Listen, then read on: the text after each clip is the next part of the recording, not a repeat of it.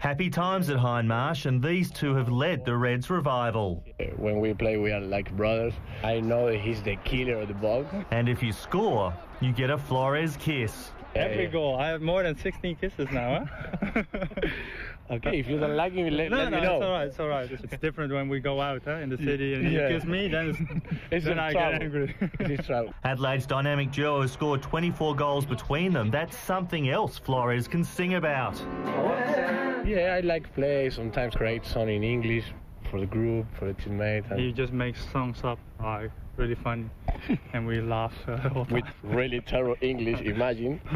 But his maths is good and he knows a win over Central Coast is crucial. Van Dijk's also counting on four more goals this season to break Shane Smeltz's A-League record of 19. I want to do it, but uh, you know, I want to be important for the team and uh, win the grand final. Paul Charles, 7 News.